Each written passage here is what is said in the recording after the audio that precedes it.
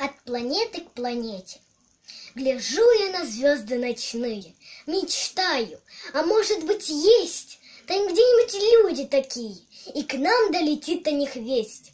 Вот так же и звездное небо глядит на планете своей, и почву терзает, чтоб хлеба добыть и для себя и детей, и доит коров, чтобы скопов побольше себе запасти, и стекла своих телескопов Земли отмечает пути. И, может быть, дальше наука шагнула о них, и они при помощи света и звука до нас донесут свои дни. Настанет живое общение двух нашей системы планет.